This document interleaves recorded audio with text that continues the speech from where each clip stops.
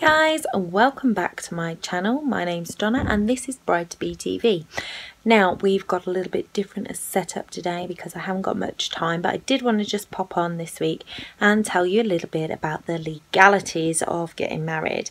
Now one thing that a lot of brides are a little bit confused about is the whole registrar process. So I just wanted to quickly run through what that actually involves so, with a registrar, um, you need to contact the registrar um, about 12 months before you want to get married and let them know of your intentions. You'll then need to make a notice to the registrar, which means an appointment between 12 months and I think it's um, like a month before your wedding date, where you have to go in, show them all the paperwork to prove that you are legally eligible to marry your other half. So, any previous divorce papers, your birth certificates, your passports, show that you are legal for this country, um, etc they will let you know all of those details. But then on the wedding day, something that a lot of bride and grooms don't realise is that you have to actually have an interview with the registrar before you get married. This is basically just a little quick overview of everything you've already spoken about and just to declare that nothing has changed and that you are still able, free and willing to marry your other half. Um, and what I've found is a lot of brides panic and go, but I don't want him to see me before we walk down the aisle don't panic.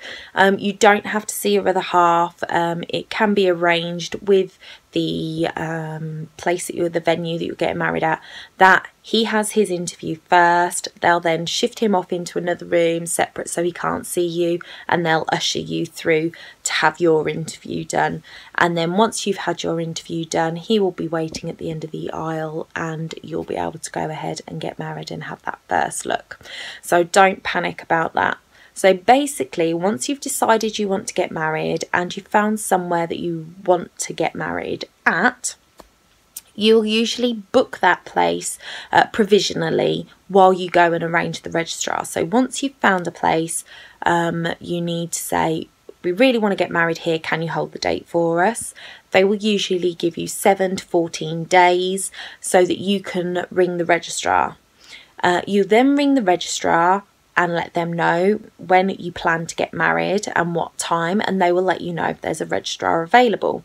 Now, it may be that there's not one available at a specific time, but they can do later or earlier in the day, or you might have to look at changing the day slightly. So, it's always good to get um, information from your venue. Um, if this day isn't available, can you do the following Saturday, the previous Saturday, or are Fridays available, for instance? So, whatever you're comfortable with, get a few dates from the venue as alternative dates if you need them. Book your registrar, then call up the venue and say, okay, we're ready to book and pay your deposit for the venue. Then you go and do your notice interview between 12 months and uh, I think it's four weeks, but you just need to go on to um, your local county council website, type in registrar, and all of the information will come up.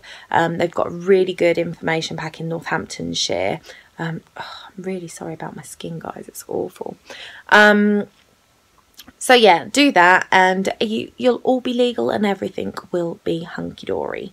Now, one thing that I did just want to suggest to you, and this may be a little bit controversial, um, is something that's become more and more popular over the last few years. Um, certainly happens a lot more in America than it does here, um, but something that I think is actually really nice is to actually do a first look with your partner. Now, for me, a wedding is all about you and your partner making declarations and promising each other that you're going to look after each other, be with each other through thick and thin for the next however many years you're left on this planet. And to me, that is very, very personal. Now, we like to celebrate with our families, but I still think it's a very personal thing. So, the thing that I love about First Look is it is just the two of you. And usually, your photographer is somewhere uh, orchestrating it. So, um, they might say, okay, the groom's going to come and stand here. You're going to go walk up to him, tap him on the shoulder, and then you're going to have your moment, which he can capture or she can capture on film. Um, and it's just this moment between the two of you where you see each other for the first time, on your wedding day and you just get that moment together just to say wow um, and just have a moment before the day gets started. And i think that is really actually very beautiful. Um, you're going to get an emotional reaction uh, because it's the first time you're seeing each other so you're going to be emotional. However there is still going to be emotion when you walk down the aisle, even though he's already seen you, because everybody else will be seeing you for the first time. And I like to think that your partner is going to be so proud to be watching you walk down and seeing how everybody else is reacting to you that they're going to get emotional for a second time because of that anyway. So don't see it that it's going to lose some of its pizzazz for when you walk down the aisle because I don't think it does. I don't think it detracts from that because it's a different setup. But just having that moment, and then you can actually do your interviews together.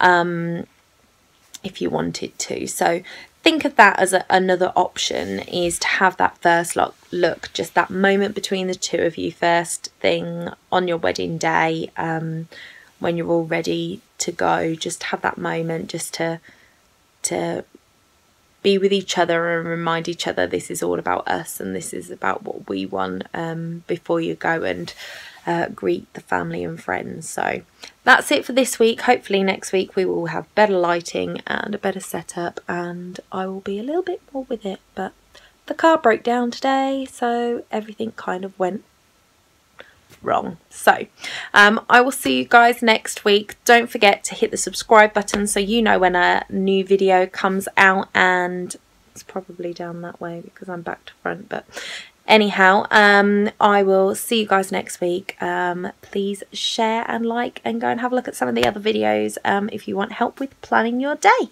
Bye for now